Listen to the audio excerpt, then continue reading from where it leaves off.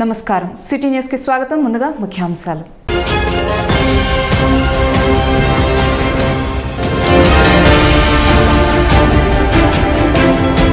గాంధీ మహాత్ముని జీవిత చరిత్రను photo exhibition ప్రదర్శన ద్వారా విద్యార్థులకు తెలియజేయడం అభినందనీయం. ఎమ్మెల్యే అన్నాబతిని శివకుమార్.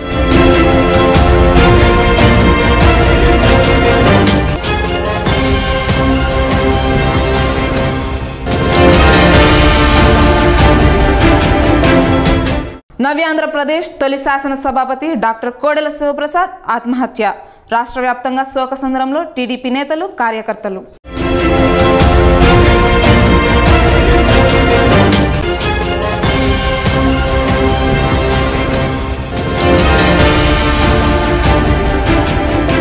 మీడియా స్వేచ్ఛను హరిస్తూ ఏబిఎన్ టీవీ ఫైవ్ ప్రసారాలను నిలిపివేసిన రాష్ట్ర ప్రభుత్వం చర్యలను సమాజంలోని ప్రతి ఒక్కరూ ఖండించాలి. జర్నలిస్టు ప్రజా సంఘాల నేతల పిలుపు.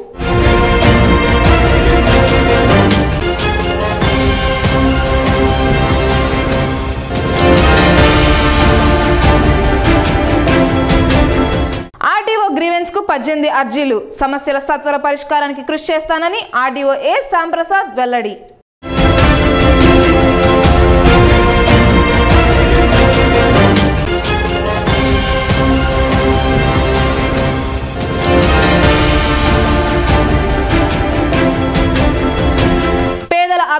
సంక్షేమం ముఖ్యమంత్రి వైఎస్ జగన్మోహన్ రెడ్డితోనే సాధ్యం. ఎమ్మెల్యే అన్నాబతిని శివకుమార్.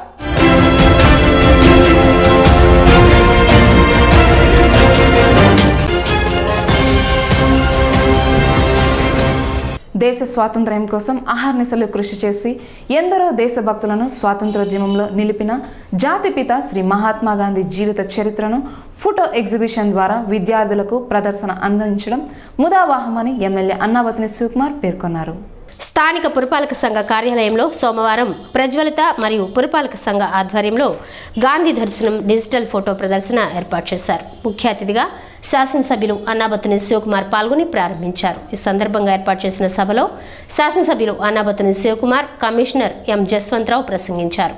కార్యక్రమంలో ప్రజ్వలిత వ్యవస్థాపకులు నాగళ్ళ వెంకట దుర్గాప్రసాద్ డాక్టర్ వాడరేవు సుందర్రావు దేవిశెట్టి కృష్ణారావు బెల్లంకొండ వెంకట్ పలువురు విద్యార్థులు పాల్గొన్నారు. ఎంతో అద్భుతమైన ఫోటోల్ని సేకరించి గత ఏడేళ్ళుగా ఆయన చేసిన కృషి అలాగే గాంధీ మహాత్ముడి యొక్క చరిత్రని మరి ముఖ్యంగా భవిష్యత్ తరాలైన మీకు అంటే పిల్లలకి. ఎందుకంటే ఈరోజు ఈ ఎగ్జిబిషన్ ద్వారా మీరు స్పష్టంగా తెలుసుకోగలుగుతారు ఏంటంటే పంతొమ్మిది వందల నలభై ఏడు నలభై ఏడు ముందు స్వతంత్ర సంగ్రామంలో ఆ రోజు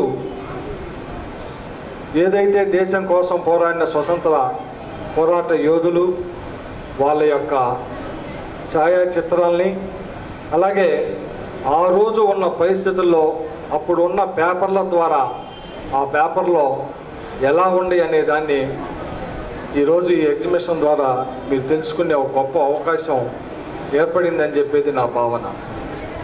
ఈ దేశానికి స్వాతంత్రం తెచ్చిన గాంధీ మహాత్ముని యొక్క ఏడో సంవత్సర వయసు నుంచి ఆయన చనిపోయే నాటి వరకు అలాగే స్వాతంత్రం కోసం ఆయన చేసిన ఉద్యమం అలాగే ఆయన ఎడ్యుకేషన్ దగ్గర నుంచి చివరి వరకు ఈ ఎగ్జిబిషన్లో ఫోటో ప్రదర్శన ద్వారా మనందరం తెలుసుకునే అవకాశం కలగటం చాలా సంతోషం. ఇంతమంది మహానుభావులు కష్టపడితేనే ఈరోజు మనం అనుభవిస్తున్న స్వాతంత్రం అని చెప్పి తెలియజేయాలన్న ఉద్దేశంతో ఏర్పాటు చేసిన ఈ ప్రదర్శనని తప్పకుండా మన తెనాలి ప్రాంతంలో కూడా విద్యార్థిని విద్యార్థులు దీన్ని యూటిలైజ్ చేసుకోవాలని మనస్ఫూర్తి కోరుకుంటూ రాబోయే తరానికి మన పిల్లలకి చూపించడం మంచి పరిణామం. మాకు కూడా కొన్ని విషయాలు చూస్తుంటే చాలా ఆశ్చర్యకరంగా ఉంది ఆ ఫొటోస్. చాలా మంచి కార్యక్రమం చేశారు. ఇప్పటి వరకు కూడా చాలా యాభై ఐదు ప్లేసుల్లో చూపించారన్నారు మన తెనాల్లో కూడా చూపించడం మంచి పరిణామంగా భావిస్తూ వాళ్ళకి ఇంకా మరింత ఇంకా ఎలాంటి కార్యక్రమాలు పెట్టి ప్రజల్లోకి తీసుకువెళ్ళాల్సిన అవసరం ఉంది. కాబట్టి మా వంతు ఎప్పుడైనా భవిష్యత్తులో ఉంటే తప్పకుండా ఇంకా ఏదైనా ఎగ్జిబిషన్స్ పెడతానన్నా కూడా తప్పకుండా మేము కన్సిడరేషన్లోకి తీసుకుంటాం. ఇంకా ఇలాంటి కార్యక్రమాలు మన రాష్ట్రం అంతా చూయించి పిల్లల జాగృతికలను చేయాలనిస్తుంది మనస్ఫూర్తిగా కోరుకుంటున్నాం గాంధీజీ జీవితం ఏడో ఏట నుంచి తను నిర్యాణం చెందే వరకు ఆయన జీవితంలో జరిగినటువంటి సంఘటనలు సౌత్ ఆఫ్రికా నుంచి ఇండియాలో ఆ సంఘటనలన్నింటినీ ఆయన వాడరేవు సుందరరావు గారు చాలా శ్రమకొచ్చి ఒక రెండు వందల యాభై డిజిటల్ ఫోటోలు సేకరించడం జరిగింది. వాటిని ప్రదర్శించడానికి అవకాశం మున్సిపల్ పురపాలక సంఘం ప్రజ్వలిత రెండు కలిసే ఏర్పాటు చేయడం జరిగింది. కళాశాలలో తెనాలిలో ఉన్న ఐదు హై స్కూల్స్లో ఉన్న తొమ్మిది పదో తరగతి పిల్లలు ఒక్కో batch one and half hour చొప్పున గాంధీజీ గురించి తెలుసుకుంటారు. వాళ్ళ జీవితంలో వాళ్ళకి ఇది చాలా ఉపయోగపడుతుంది గాంధీజీ జీవితం. ఎందుకంటే ఆయన నా జీవితమే ఒక మెసేజ్ అని చెప్పినటువంటి వ్యక్తి. కనుక ఆయన్ని చూపించాలనుకున్నాం. అది చాలా దిగ్విజయంగా జరుగుతున్నందుకు చాలా సంతోషం. స్థానిక రెవెన్యూ డివిజనల్ కార్యాలయంలో సోమవారం ఏర్పాటు చేసిన స్పందన కార్యక్రమానికి పద్దెనిమిది అర్జీలు వచ్చినట్టు ఆర్డీఓ ఏ. శ్యాంప్రసాద్ తెలిపారు. ఈ సందర్భంగా ఆయన మాట్లాడుతూ ప్రజా సమస్యల పరిష్కారం కోసం ప్రతి సోమవారం స్పందన కార్యక్రమం ద్వారా డివిజన్ పరిధిలోని ప్రజల నుండి సమస్యలపై అర్జీలు తీసుకుంటున్నట్లు వెల్లడించారు. ఇళ్ళ స్థలాలు పట్టాదార్ పాస్ పుస్తకాలు ఇలా పలు సమస్యలపై అర్జీలు వచ్చాయని వీటిని సంబంధిత శాఖల అధికారులకు బదలాయించి సమస్య పరిష్కార దిశగా కృషి చేస్తానని స్పష్టం చేశారు. కార్యక్రమంలో కార్యాలయ ఏవో సుబ్రహ్మణ్యం వివిధ శాఖల అధికారులు పాల్గొన్నారు. ఇప్పటి వరకు ఇరవై అర్జీలు దాకా వచ్చినాయి. ప్రధానంగా పాస్ పుస్తకాలకు సంబంధించినటువంటి ఇవి ఎక్కువ శాతం రావడం జరిగింది. అలాగే రెవెన్యూ వెబ్లాండ్లో కరెక్షన్స్ కోసం కూడా కలిపి మొత్తం ఎనిమిది అర్జీలు వచ్చాయి. తర్వాత గత బిడ్డలు సరిగా చూసుకోవట్లేదని చెప్పి తల్లిదండ్రులు వారికి సీనియర్ సిటిజన్ యాక్ట్ ప్రకారంగా కూడా చర్యలు తీసుకోవాల్సిందిగా కూడా వచ్చాయి. సో అలాంటి అర్జీలు రెండు రావడం జరిగింది. హౌస్ సైడ్స్ సంబంధించి మూడు తర్వాత డేట్ ఆఫ్ బర్త్ సర్టిఫికేట్ సంబంధించింది ఒక రెండు. తర్వాత బాపట్ల నియోజకవర్గంలో హౌస్ సైట్స్ మీద తర్వాత మన జర్నలిస్ట్ అసోసియేషన్ నుంచి కూడా ఒక రిప్రజెంటేషన్స్ కూడా రావడం జరిగింది. అవన్నింటినీ కూడా గవర్నమెంట్కి పంపించడం జరుగుతుంది. సో ప్రధానంగా చెప్పవలసింది ఏంటంటే తెలాని రెవెన్యూ డివిజన్ పరిధిలో మనం వి- విలేజ్ వాలంటీర్స్ ప్రతి ఇంటింటికి వెళ్ళి హౌస్ సైట్స్ కోసం సర్వే చేయడం జరిగింది. ఆ, దరిమిలా మనకి ఇంచుమించుగా లక్ష మూడు వేల వెరిఫికేషన్స్ చేసి ఎలిజిబుల్గా నిర్ధారించారు. మూడు లక్షల ఎనభై మూడు వేల హౌస్ హోల్డ్స్కి గాను లక్ష మూడు వేల మందిని మన విలేజ్ వాలంటీర్స్ ఎలిజిబుల్గా చెప్పడం జరిగింది.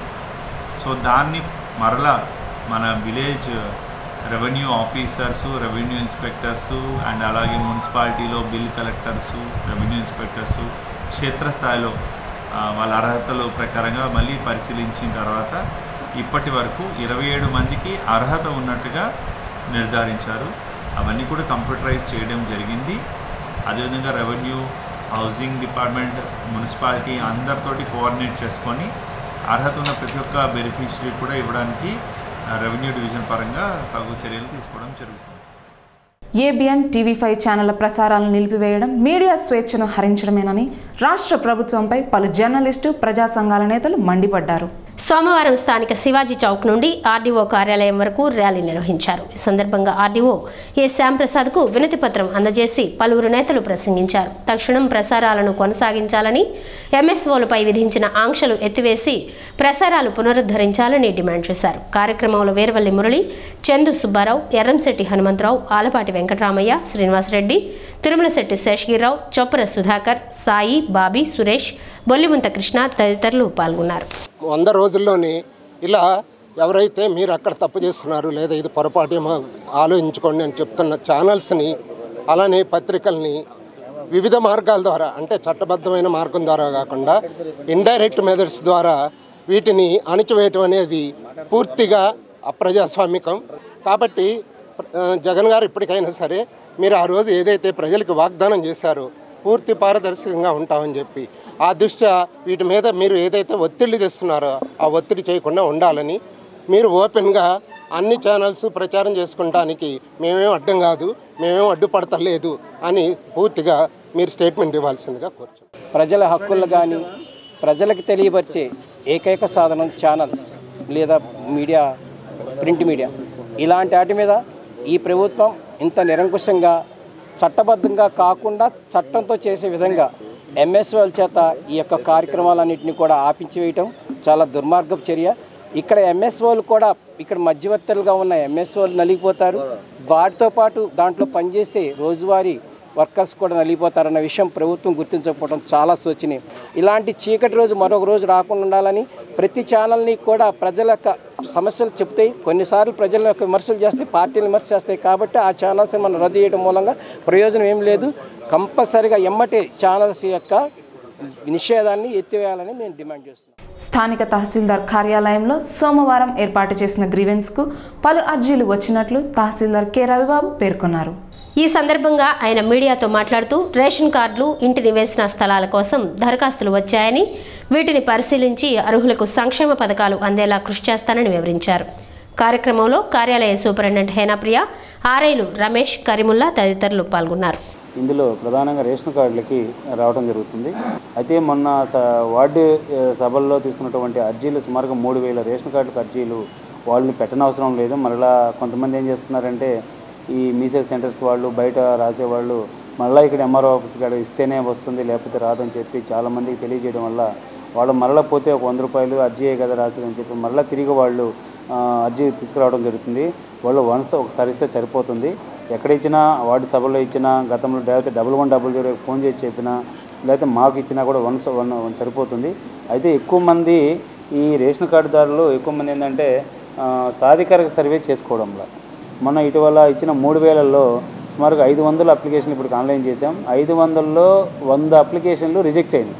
అంటే కారణం ఏంటంటే సాధికారిక సర్వే చేయించుకోకపోవడం వల్ల. అలానే సాధికారిక సర్వే అనేది అంటే దాన్ని పల్స్ సర్వే అంటారు.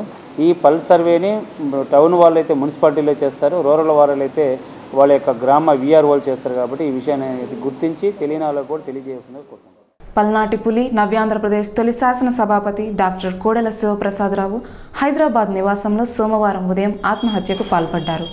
వివరాల ప్రకారం ఉదయం పది గంటల ముప్పై నిమిషాల సమయంలో కుటుంబ సభ్యులు తలుపు కొట్టడంతో ఎటువంటి పలుకు గది నుండి వినపడకపోవడంతో తలుపులు తెరిచి ఆత్మహత్యకు యత్నించిన ఆయనను బసవరామ తారక హాస్పిటల్కు తరలించారు.